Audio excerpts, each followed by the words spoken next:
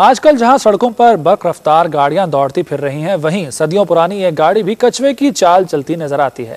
इस बारे में बता रहे हैं मीरपुर खास से आफाक अहमद।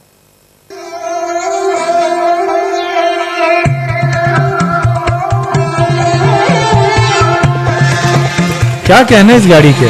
पेट्रोल, डीजल और सीएनजी का खर्चा? न इंजन की खराबी का खौफ? हाँ चलती एक कछुए की चाल है। जी हाँ।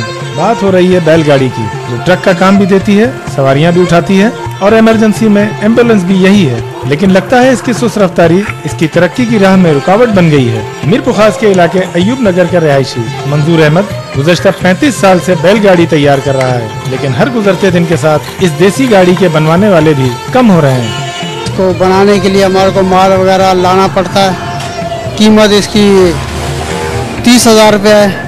बैलगाड़ी दही सकाफत की अलामत समझी जाती है। मोइंजोदड़ो के आसार कदीमा से भी बैलगाड़ी बरामद हुई जो इसकी अहमियत का मुँह बोलता सबूत है। पहले तो हमारे बड़े इसमें बारातें भी इस बैलगाड़ी में ले जाते थे। दूल्हे को भी बैलगाड़ी में बैठा देते थे तो जो दुल्हन वो भी, भी बैलगाड़ी के अंदर होती थी।